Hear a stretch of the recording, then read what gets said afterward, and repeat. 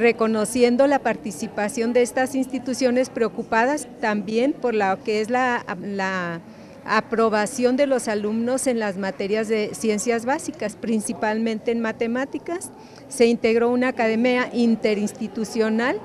y dentro de esto están analizando las mejores estrategias para levantar el índice el indicador académico que tenemos un poco bajo en cuanto al aprendizaje de las matemáticas. Nosotros tenemos eh, cursos remediales y en este aspecto pues hacemos la aplicación de Ceneval y ahí sí considerar la universidad como universidad pública que somos, tenemos una, una